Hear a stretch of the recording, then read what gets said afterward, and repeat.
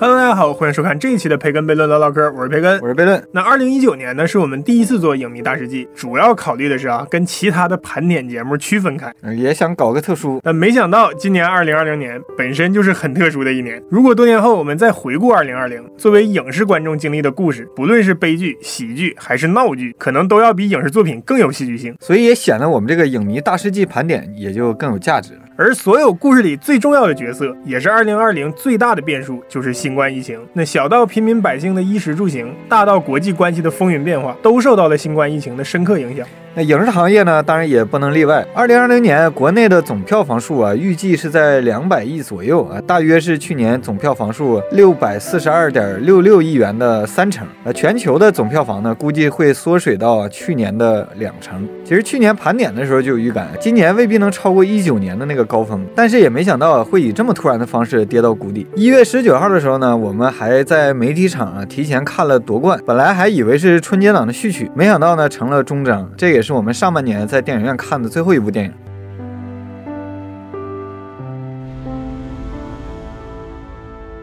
一月二十一号，位于疫情震中的武汉中南剧场一零一天河影院宣布，一月二十一日到三十日呢暂停电影的放映。两天后，也就是一月二十三号上午十点，武汉宣布封城。大约中午时间，原本春节档的《熊出没》《姜子牙》两部动画片宣布撤档。紧接着，《紧急救援》《夺冠》《唐探三》《急先锋》，几乎所有春节档大片全部撤档。那自二零一五年起，春节档已经逐渐成长为国内最强档期。不过，成长的曲线在二零二零暂停了。紧接着呢，一个非常具有标志性的新闻出现了啊！一月二十四号，也就是春节档啊，宣布消失的第二天，囧妈的片方啊决定在大年初一，电影以流媒体的方式免费播放，这也拉开了二零二零年呢院转网的一个大幕。囧妈呢是先定档，他再提档，撤档之后呢又转线上。徐峥啊这种迅速又大胆的操作，除了让电影一夜回本之外，还引发了同行的不满和院线方的口诛笔伐，以及呢大部分观众的喜闻乐见。囧妈的案例呢也引发了关于资本影视。社会等等各角度的讨论，不光是春节档消失，直到一月底，所有之前宣布定档的新片全部撤档，全国无片可放的电影院线也陆续宣布暂停营业，院线、餐饮、旅游等等行业都处于停滞状态，居家过年成了普遍的共识。新冠疫情的战况也成为了人们关注的焦点。线下处于停滞状态啊，但是线上的囧妈在西瓜、抖音的播出还是非常成功的。爱奇艺和腾讯平台呢也坐不住了。二月一号呢，他们采用单片付费的方式联合独播了甄子丹。的肥龙过江。那二月份的时候，美国对新冠疫情还没有足够重视，奥斯卡颁奖典礼照常举办。在典礼上，奉俊昊的《寄生虫》成了最大的明星，荣获最佳电影、最佳导演、最佳国际影片和最佳原创剧本。那不仅以非英语片的身份打破了奥斯卡诞生以来九十二年的惯例，并且也是继一九九五年的《君子好逑》之后，六十四年来又一个同时获得戛纳金棕榈和奥斯卡最佳影片的电影。两个奖项也都是韩国影史上的首次。那二月十六号呢，热播剧《想见你》迎来了大。结局，院线新片缺席之后呢，影视类的话题基本就被剧集和综艺给占据了。那伍佰的歌词呢，也准确的唱出了影迷当时的心声。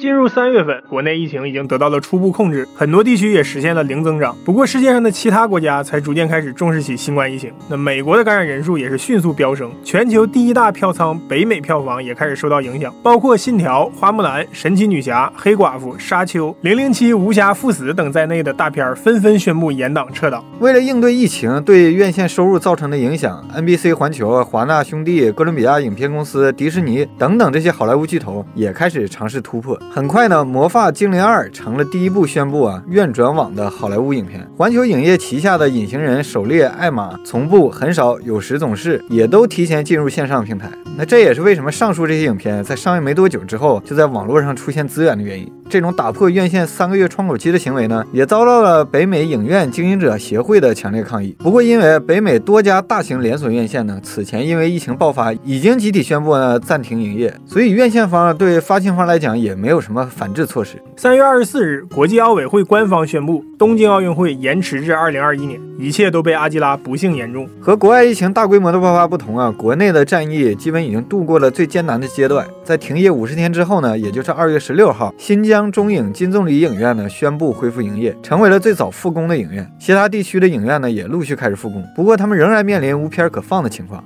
但是没想到呢，十一天之后，也就是三月二十七号，国家电影局呢通知影院暂不复业，已经复工的影院呢也需要暂停营业。影院的恢复呢仍然没有一个明确的日程表。跟电影院的停滞不同，综艺节目经过二月的停播延播之后，已经全面恢复，包括《青春有你二》在内的娱乐节目持续火爆。那这一头是网络平台播放数据和用户人数的大涨，另一头有成千上万家的影视公司在疫情期间注销，超过二零一九年全年的数量。四月十七日，天津成天嘉禾影院宣布不永久闭店。这也是疫情重压之下院线的一个缩影。好在四月二十六日，武汉在院新冠患者数清零，也标志着我国对抗新冠疫情的阶段性胜利。刚刚得到最新消息，经过武汉和全国援鄂医务人员的共同努力，至四月二十六日，武汉在院新冠肺炎患者清零。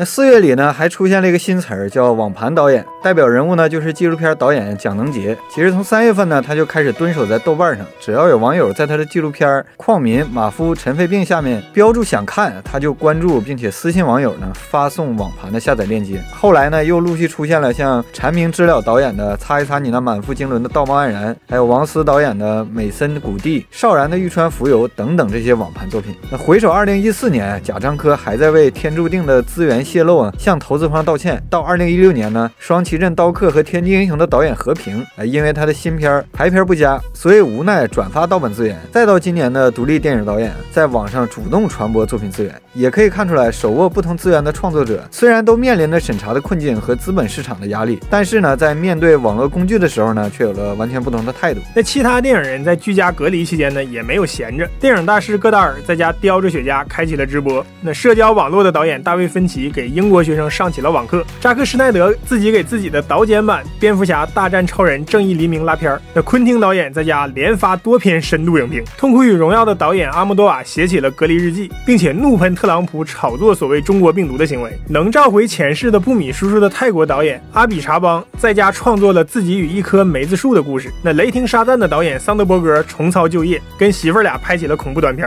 贾樟柯导演也在家用手机完成了疫情主题的短片《来访》。虽然没有妻子赵涛的处境，但是呢，涛声依旧。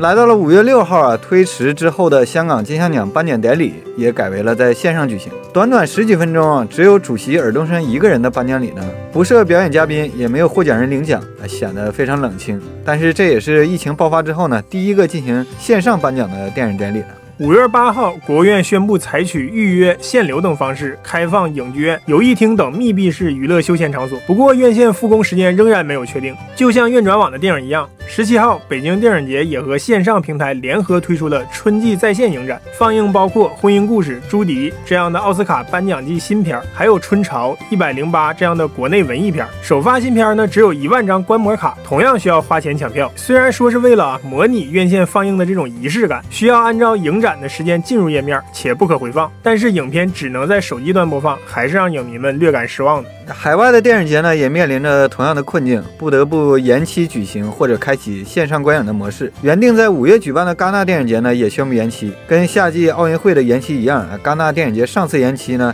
还要追溯到第二次世界大战。五月底呢，纽约崔贝卡电影节还和 YouTube 平台呢联合发起了线上公益的应战。在大多数电影项目纷纷上网求生存的时候，一个男人站了出来。那《信条》在五月二十二号发布了三分钟的新版预告片，导演诺兰也多次在不同场合。反复强调，坚持要在院线放映新作品，希望能够提振院线，帮助恢复营业。那诺兰导演的救市行为也得到了华纳的大力支持。此刻的双方手牵手，心连心，等待着《信条》的顺利上映。但二零二零的故事比很多电影都富有戏剧性。时间来到了六月份啊，虽然在六月八号，张艺谋导演的新片《坚如磐石》发布了预告片，并且约定呢在二零二零年呢跟观众见面，但是呢，仍然没有等到影院复工的相关消息。国内电影呢纷纷上网，但是美国的一个电影呢却从网上下架了。哎，六月十号呢，在为奴十二年的编剧约翰·里德利的呼吁下呢，HBO Max 下架了含有种族歧视镜头的经典电影《乱世佳人》。当然呢，这也不是因为这个编剧呢有多大的号召力，而是因为当时的大背景是五月二十五号，黑人男子弗洛伊德在遭到暴力执法后死亡，从而引发呢在美国遍地开花的平权运动。绿皮书的海报呢也被现实改写，哥谭市的街景呢又被现实复刻，二零二零的魔幻感又上升了一个台阶。那回看国内跟影视沾边的话题啊，仍然被剧集和综艺占据着。六月十二号，《乘风破浪的姐姐》上线，多个话题霸占热搜。那这档综艺呢，累计播放超过五十亿次，也让芒果 TV 三季度的日活用户数量首次超越传统视频平台。六月十六号啊，网剧《隐秘的角落》上线，极高的质量、精湛的演技，还有阴间的配乐，让它迅速获得了高口碑和高流量。相约爬山呢，也成了热门的网络社交活动。悬疑剧的类型呢，经过近几年的探索呢，也逐渐成熟。在疫情的背景下呢，今年算是达到了一个高峰。品牌效应最强的呢，就是爱奇艺的迷雾剧场系列，贡献了《隐秘的角落》和《沉默的真相》，都是紫禁城的原著小说。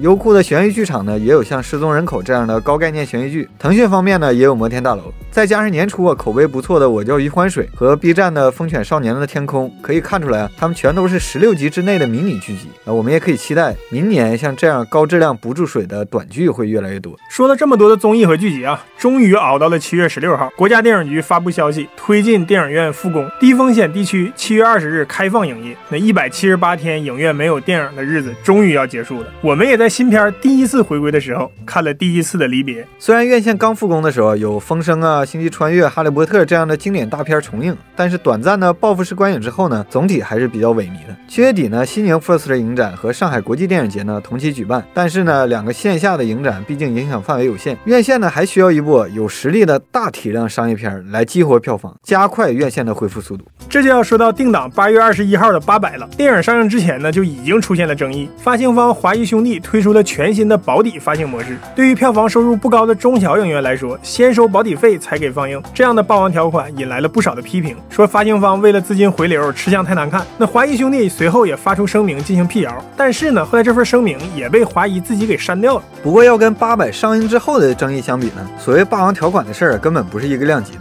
作为盘点类节目呢，我们就不聊电影的具体内容了。总结电影上映之后的结果呢，是非常有意思的。八百最终获得了三十一亿的票房，成了二零二零年的票房冠军。电影市场呢得到了激活，院线回血。关注电影的人呢，通过拼凑各种小道消息呢，也对故事进行了补完。关注军事和历史的人呢，对八百进行纠错。紧盯意识形态的媒体呢，也收获了大量的粉丝。像我们这样更关注电影工业的呢，也看到了国产片的进步，当然也收获了不少骂声。各方观点呢，看起来冲突对立，但是呢，各。各取所需，都得到了满足。更重要的是，因为八百的上映啊，上海四行仓库抗战纪念馆呢变得异常火爆。国产旧式大片八百也算圆满的完成了任务。时间来到九月，另一部旧式大作诺兰导演的《信条》终于在四号正式上映。其实上映之前啊，网上就已经有铺天盖地的讨论了。当然啊，我们俩也是贡献了不少，可以说是网络声量最大的引进片。但是上映后口碑的两极化，应该是诺兰电影里最严重的。不要去理解，去感受。那观众说，哎，确实不理解。感受很不好，那评分最终逐渐落到七点七分，比诺兰最低的《失眠症》略高零点二。国内最终收获四点五亿票房，甚至没有超过十年前的《盗梦空间》。但是啊，即便远没有达到预期票房，不过《信条》仍然是今年引进片的票房第一，而且国内的票房表现已经算是世界范围内最好的了。《信条》的北美票房只有五千七百多万美元，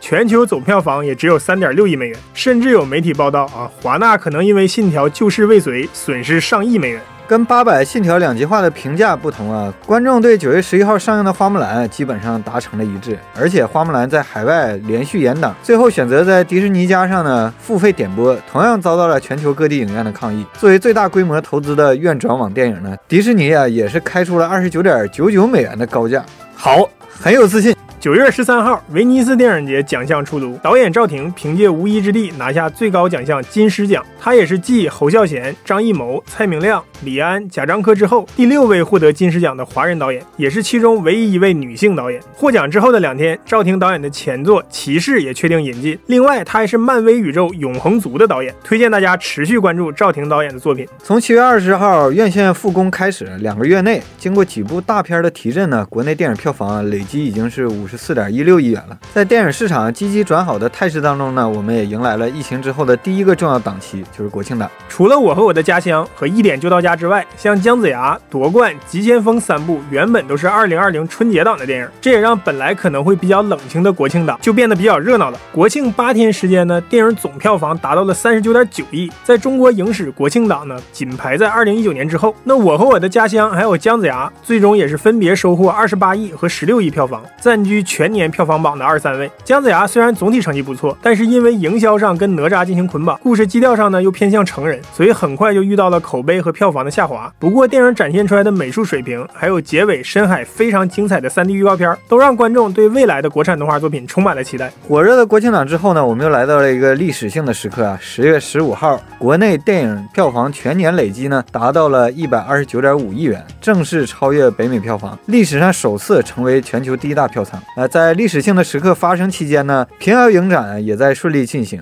不过，随着最热门的影片不止不休啊，临时取消放映，对于我们这种不在场的影迷来讲，听到更多的是一部比一部奇葩的烂片儿。但是没想到呢，十月十八号，在影展接近尾声的时候，贾樟柯毫无征兆的突然宣布，他和他的团队将退出平遥影展，从明年开始呢，就要由平遥政府主办。但是因为平遥影展有太多贾樟柯的个人印记了，所以也真的没法想象下一届会是什么状况。呃，我经常在下午的时候，一个人会站在那个路口，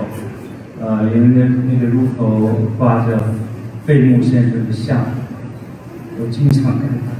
面对突发的新闻呢，很多影迷啊、媒体啊都在惋惜甚至哀嚎。但是呢，我不这么认为啊，因为少了影展的牵绊呢，贾樟柯导演应该有更多的时间和精力呢用在电影创作上。如果真的因此多了一部精彩的电影，我相信会是更有价值。况且呢，平遥影展底子打得挺好，新团队接手之后呢，总不能比年底的海南岛电影节还差吧？十月二十三号，抗美援朝题材电影《金刚川》上映。虽然评分不高，被网友称为是低配版的《敦刻尔克》，但是鉴于疫情原因啊，拍摄和制作周期都有压缩，又因为今年是人民志愿军抗美援朝出国七十周年纪念，所以呢，《金刚川》根本不存在延档的选项。那三位导演合力的情况下，能够达到这样的完成度，实属不易了。更重要的是呢，《金刚川》的上映意味着抗美援朝电影题材终于解封，已经立项的《长津湖》和《最冷的枪》就非常值得期待了。十月二十六号啊，日本动画《鬼灭之刃》剧场版《无限列车篇》十天票房突破一百亿日元，超越了《千与千寻》二十五天破百亿的影史记录。后来呢，经过六十六天的放映，《鬼灭之刃》已经累计三百一十一点六亿日元，已经超越了《千与千寻》当年首轮放映的三百零八亿，登顶日本历史票房冠军指日可待了。说的我都想补番了。呃，日本的媒体呢，在十一月还专门采访到了在家附近捡垃圾的宫崎骏导演，呃，问有粉丝不想看到《千与千寻》不再是日本票房最高纪录。那宫崎骏表示呢，说这件事儿无所谓了，毕竟世界一直在通货膨胀，呃我还得捡垃圾呢。十一月又到了国庆档之后的淡季，六号上映的《风平浪静》，虽然张宇、宋佳等几位主演表现都不错，但是犯罪故事的部分情节没法让观众信服。九号上映的恐怖片《地狱男爵：血皇后崛起》，也是因为里面的恐怖镜头有严重删减，所以两部电影口碑都不佳，票房也都没有过亿，通通败给了一点一亿票房的《喜宝》。那《喜宝》不愧是年度烂片啊，烂的有风格，烂的有态度。那十一月院线虽然平淡，但是综艺热度不减，尤其是陈凯歌导演，因为演员请就位上的双标行为呢，让他在没有任何新作品上映的情况下，口碑直线下降，仿佛拍了一部《无极二》。It's such big surprise. 到了十一月二十号，年度华语十佳级别的电影《气球》上映了，但是电影的排片呢，从首日的百分之二点四迅速跌到了周末的百分之一。导演万马才旦呢，在微博呼吁公正排片之后，也收效甚微。最终，《气球》票房是六百多万，不及我们去年盘点时提到的他的前作《撞死了一只羊》。当时《壮阳》在《复联四》的排片挤压下呢，票房还突破了千万。艺术片和文艺片的排片少，也是世界性难题了。我们也只能希望观众去多关注优秀的导演和作品，发现宝藏，不要私藏。有积极的评论、点赞、转发什么什么的。那十一月再插播一条社会新闻：二十五日，台湾著名导演侯孝贤和失散多年的孩子失之愈合相认。那十一月二十六号，增加了时长的《流浪地球：飞跃二零二零》特别版公益放映，所得收入呢也将全部捐献。在我的印象里啊，这也是国产片第一次出现加长版本的重映。同一天，还有一个容易让人忽略的新闻，就是中韩关系未来发展委员会宣布启动二零二一和二零二二年中韩文化交流年的活动安排，筹备纪念中韩建交三十周年。哎，我们也幻想啊，韩国电影解禁有没有可能成为文化交流的一部分？那自从二零一五年的暗杀之后啊，内地就没有上映过韩国电影了。但其实呢，韩国对华语电影的影响一直都在。二零一八年有《找到你》和《比悲伤更悲伤的故事》，一九年呢有《大人物》《啊小小的愿望》，包括今年的《大赢家》和《温暖的抱抱》，这些呢都翻拍自韩国电影，其中喜剧片、悬疑片、爱情片类型也都很全。仔细回想，每年都会有那么两三部。反正呢，希望文在寅任内期间啊，中韩关系可以迅速恢复。其实从二零一一年十一月到二零一五年五月之间，三年半的时间内啊，也没有日本电影引进国内。但是二零一六年突然飙升到十一部，一七年九部，一八年十五部，去年更是高达二十四部。那二零二零年，即便有疫情影响，也有十一部，接近引进批片的四分之一，已经超过美国，位列第一。这当然有赖于中日两国近几年友好关系的稳步发展。如果我们把目光啊转向没有加入区域全面经济伙伴关系协定，也就是 RCEP 的印度，那去年国内引进的印度批片，包括《调音师》啊、《天作谜案》、《一个母亲的复仇》等等，一共有七八部那么多。但是今年呢，一个都没有。包括去年已经确认引进的，像《印度咽后从零开始》，也都没有消息。这当然是跟六月份中印边境局势紧张有关系。你看看我们的影视盘点节目，你其实是能从侧面了解到一些国际局势的。那视角回归到咱国内，十一月底金鸡奖揭晓，周冬雨连续三届获得最佳女主角，黄晓明也凭借《烈火英雄》获得最佳男主角。去年我们盘点的时候就说，金鸡奖改制之后，相信会引发讨论。但是啊，没想到这一届的讨论焦点都在获得最佳男配角的印小天身上。在当年插刀教事件之后，沉寂八年的印小天终于熬出头，只要他自己不尴尬，那尴尬的肯定是别人。瓦蓝蓝的天上飞金鸡，我在厦门眺望北京，侧耳倾听啊，评委的声音，望眼欲穿，把金鸡奖领。原本金鸡奖的开幕影片呢是一秒钟，但是因为技术原因呢临时取消。好在呢十月二十七号一秒钟顺利上映。故事里对时代的追忆，对影院集体观影的怀念，甚至是消失的胶片，这样戏里戏外的巧合呼应，都让这部怀旧电影呢多了一层现实感。而且导演张艺谋啊七十岁的高龄，仍然保持现在这么旺盛的创作精力，确实是有点不可思议。我就怀疑是跟当年外星飞碟那事儿有关系。